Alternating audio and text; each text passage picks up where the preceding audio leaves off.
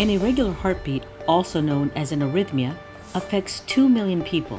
Atrial fibrillation is an irregular and very erratic heartbeat and rhythm. The regular synchronization that both chambers, the atrium and the ventricle have is lost.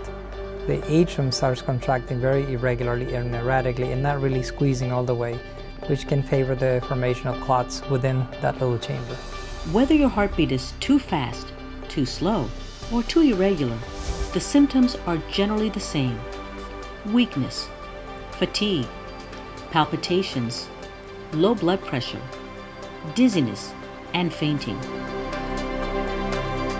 There are many outcomes. Uh, the most uh, feared one is a stroke, which is a very high risk in patients with atrial fibrillation. A minimally invasive medical procedure called a catheter ablation can fix the problem.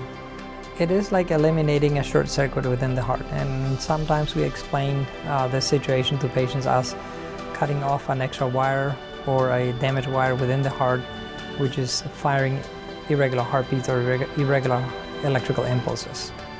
The best advice would be to listen to one's body, one's heart.